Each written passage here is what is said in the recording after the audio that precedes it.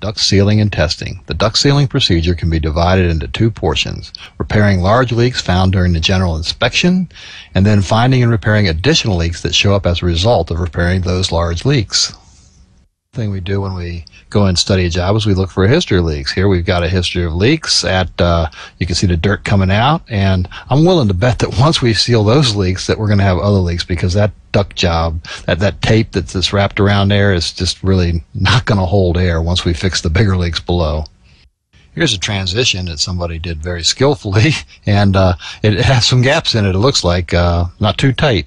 So somebody wrapped it with some fiberglass tape and put some mastic on it and sealed it up, and now it's working. Well, what the heck is fiberglass tape? Well, I'm glad you asked. Fiberglass tape, you put some mastic on the duct to give it a place to stick to, and then you wrap the duct with the fiberglass tape.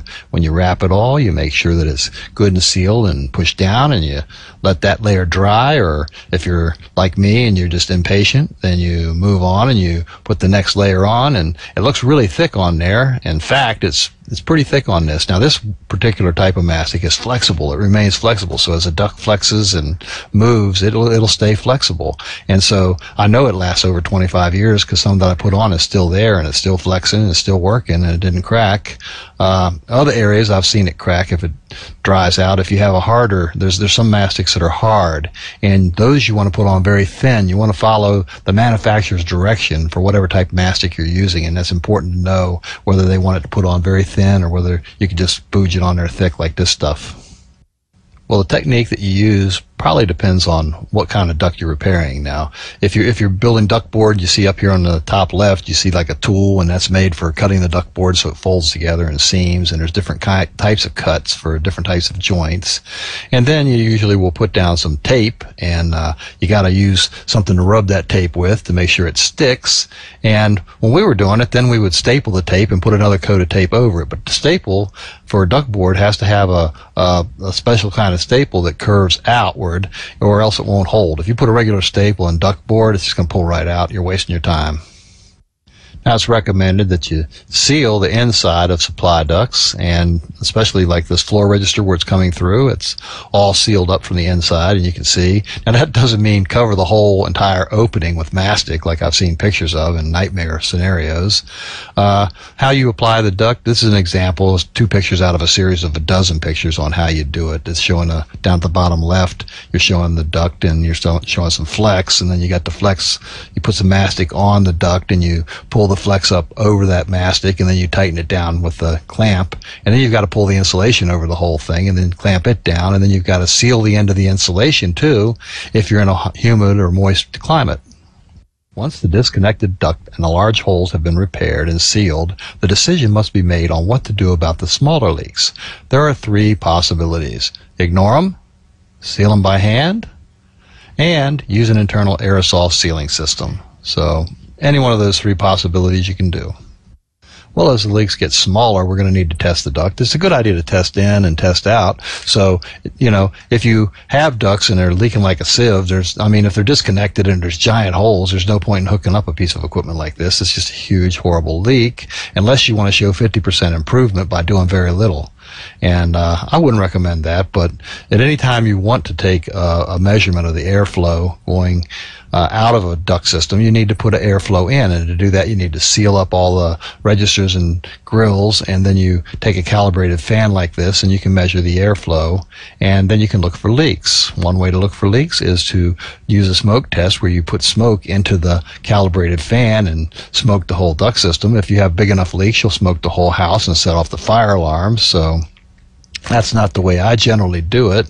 What I generally do is I use a little squeeze bulb and I have these tubes and they're chemical smoke and I break the tube and I go around with a squeeze bulb and I squeeze it and smoke comes out wherever I need it and then I can see which way the air is going and I can mark where holes and leaks are when they're small enough. If they're too big, you can't follow them with smoke because they'll just blow the smoke away immediately. But if they're that big, you should be able to feel it with your hand.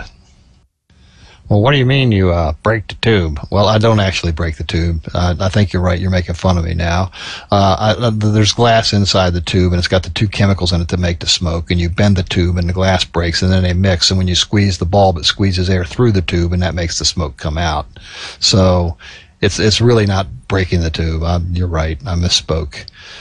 Another thing that's done often in home performance is they use a blower door and then they use a pressure pan and they'll chart the pressure drops at different diffusers and then they'll say okay well based on this pressure difference here we have leaks and they have charts and ways of doing that if you really want to impress your friends and acquaintances, you can become familiar with the requirements in ANSI ACCA 5 QI 2015 HVAC quality installation specification.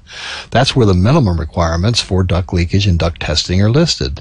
You can get one for free at www.acca.org/quality. To save you time, I thought I would list them right here and now. For new construction, test using any one of the three options.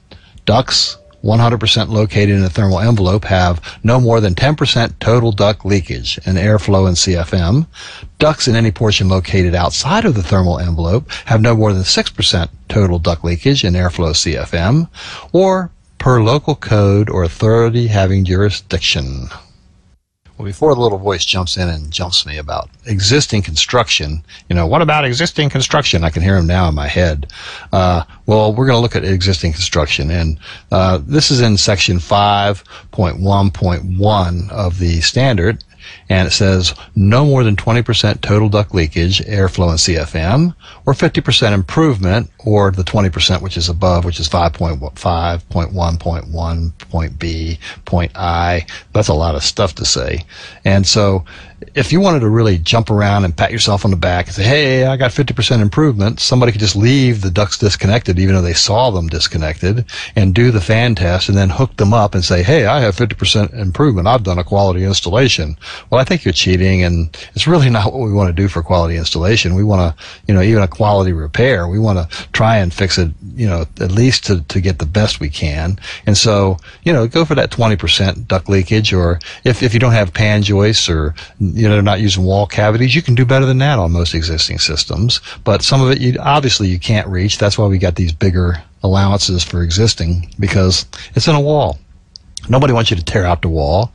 However, I guess you could use some of those spray type units to spray inside and seal them from the inside out and get very close to uh, new construction standards.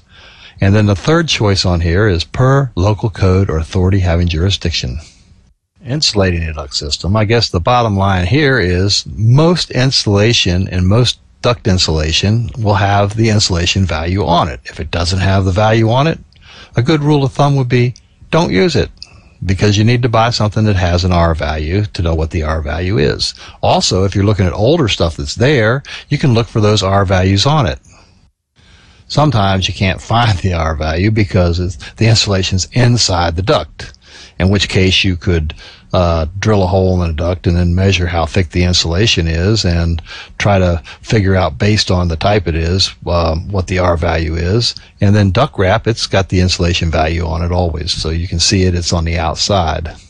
Here's some pictures of duct that I got out in the field, and well, you can see the R values on them. Uh, go figure. The duct board has an R value of 4.3, and the flex has an R value of 4.2. So I could then compare those R values to the current R values required and decide whether or not I wanted to add insulation or not. Let's imagine that we're going to look at our R4 installations that we just saw, and and I'm in Virginia, and Virginia's in that middle column, and I've got a, a gas, oil, or heat pump. And over here, it's an unconditioned attic, let's say. It says R4 through R8. So I'm barely there. I've got R4, so I'm meeting a requirement that's recon- recommended by the EPA. However, R8 is probably closer to what the new code is, and you can check the new code for your area. And I might want to consider upgrading that to an R8 at a minimum, I've got to upgrade to what the local code requirement is when I'm doing duct upgrades or new installations. So for new installations, you know, I don't get to use this chart to, as an option. I've got to do what the code requires. And uh, when I do upgrades, it's always smart to go with what the latest energy requirements are because that's where you're going to get your bang for your buck on your energy savings. This is a little bit confusing, and I'm going to explain it so it's less confusing, hopefully. Zone 1 pascals are hooked up to the meter in the one static probe on the left. Zone 2 pascals are hooked up to the other side of the probe, so one's on the positive port, one's on the negative port. And so the manometer itself is adding them together. And when the manometer adds them together, if the difference is is less than or equal to 3 pascals, then we don't have to make any adjustment because there's not that much of a pressure difference. And we discussed in earlier uh, sequences what happens and what causes pressure indifferences. It can be caused by too much supply or not enough return, or it can be caused by other problems. Well, here we're showing you what you might want to do if you find that you have too big of a pressure differential between a bedroom and a hall, for instance, where the main returns in the hall and the bedroom door is shut.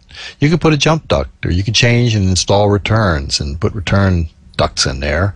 And so there's different ways to get the difference in uh, pascals down and to have the zones balance out and corrected properly. Lessons learned. You should now be able to explain several duct leakage test methods. You should be able to explain the difference between pressures in rooms and what the maximum amount should be, less than or equal to 3 pascals, cheat. You should now be able to explain why you may want to recommend a duct leakage test prior to starting a duct repair and upon completion of the duct repair. And you should be able to locate existing duct R values and compare them to the current requirements.